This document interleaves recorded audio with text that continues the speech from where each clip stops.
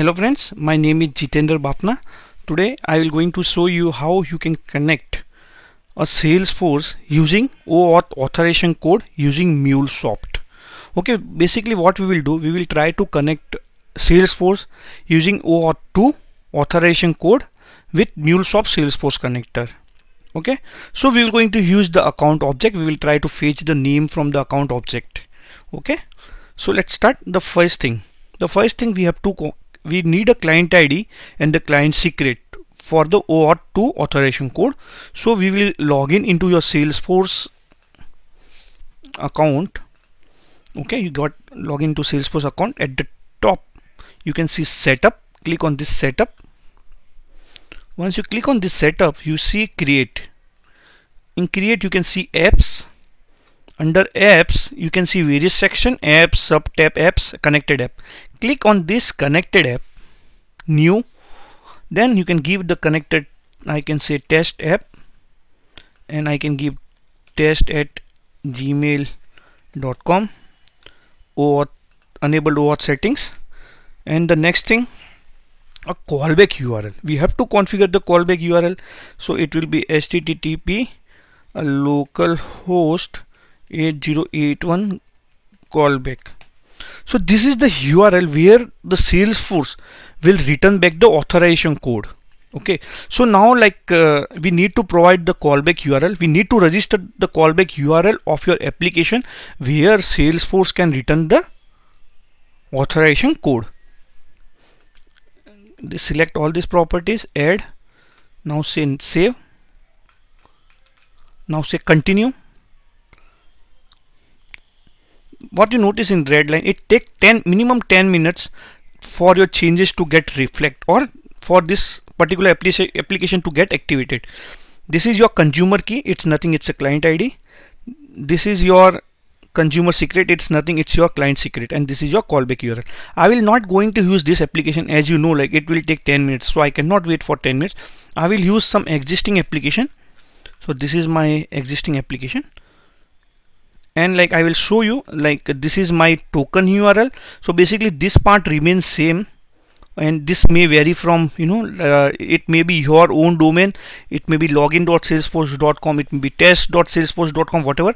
Currently it's ap16c I can show you in URL also. Okay? So let's start. I will show you how you can generate a token. So for that you can select OAuth2 here. Okay? You can say get new access token under authorization code. Okay just a minute I will show you.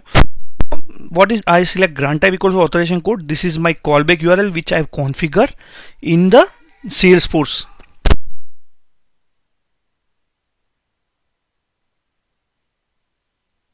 And like uh, auth URL http ap16.salesforce service that authorized URL which I have shown you. Then you have to provide the token which I have shown you like ap16 token. Then the client ID that is your consumer key. You can copy it from here. This is your consumer key. And this is your secret. Okay you can copy from here and paste it in client ID and the client secret and just request token. Once you request the token it will give you access token back to you okay? So in my case it haven't asked for the authentication. It needs to it should ask for the authentication because I have already done the authentication. So what I will do I will close the postman and try to open the postman again.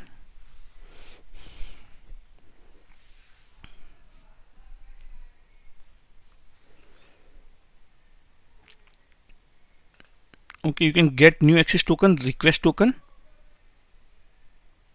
now it will ask it should ask for authentication. So you can provide your you know salesforce user id you can log in.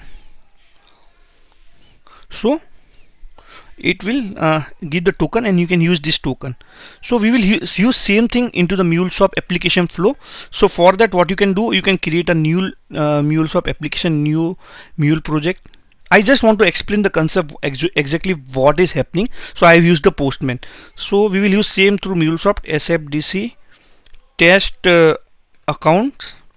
Okay this is my application name. I will say finish. Okay this is gone here. Okay I will use the HTTP listener. That is always my first uh,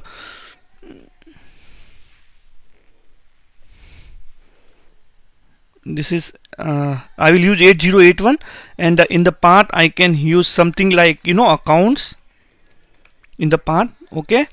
And the second thing like uh, I will use uh, one transform message and the Salesforce query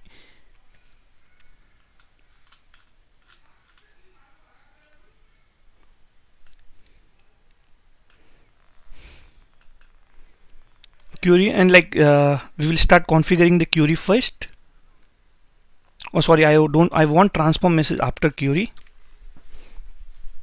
Okay first we will use query like we will start configuring this query object uh, Salesforce. I will click on this add button. And I will just change basic authentication to OAuth 2 okay.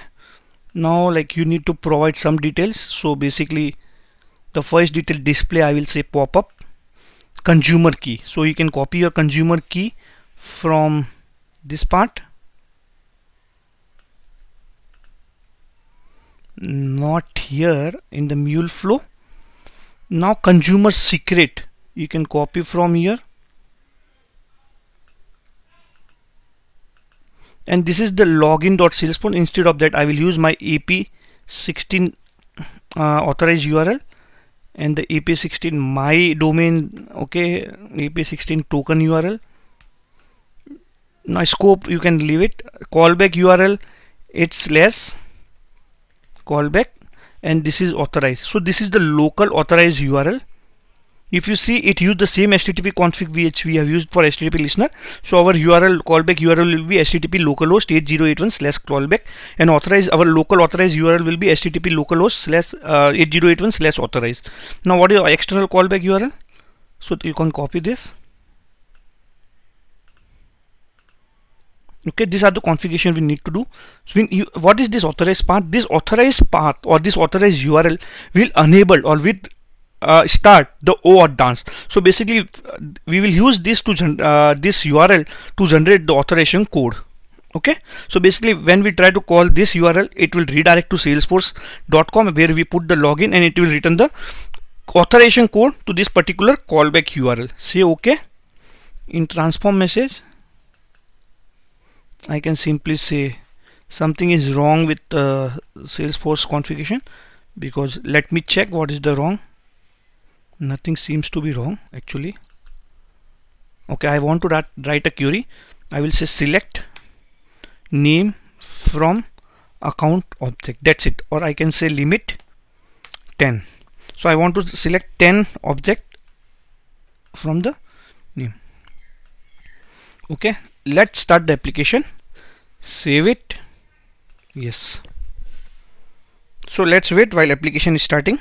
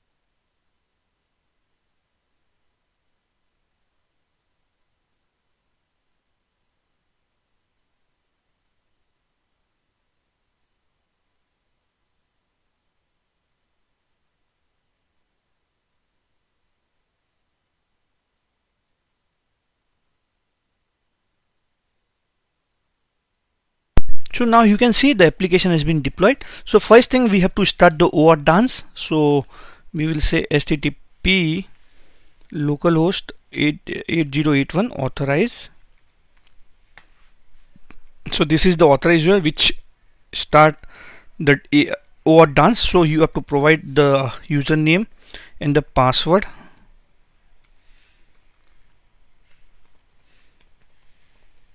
Okay you log in. It so as soon as uh, you provide the username and password you can see it has written back the authorization code to the callback URL you can see it from here right? So that is why the callback URL is very useful where it can return. So now the callback URL has received the authorization code. It will save the authorization code in some object store somewhere. Okay? So for further communication. So now next thing we have to call the actual account object. So this is my uh, account like http now we don't have to call the token. So it will generate internally uh, token or whatever for like it will say automatically add into header and the send. We don't have to do anything. Simply just say no okay? Here I can say no auth okay? And like simply send the request.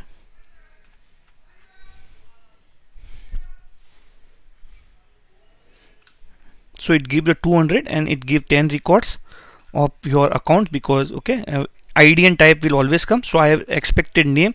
So i can see the name in the response that uh, like 10 so okay this is how you can enable OAuth authorization code for you know for connecting sales app, salesforce application using mulesoft. I hope you liked the video. You understand the concept.